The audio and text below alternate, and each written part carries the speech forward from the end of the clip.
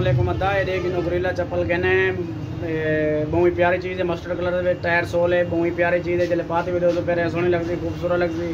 अपना लाजमी ख्याल कराए सारे यूट्यूब चैनल को सब्सक्राइब भी कराए शेयर भी कराए देखिए बहुत ही प्यारी चीज़ है। अल्लाह हाफिज़।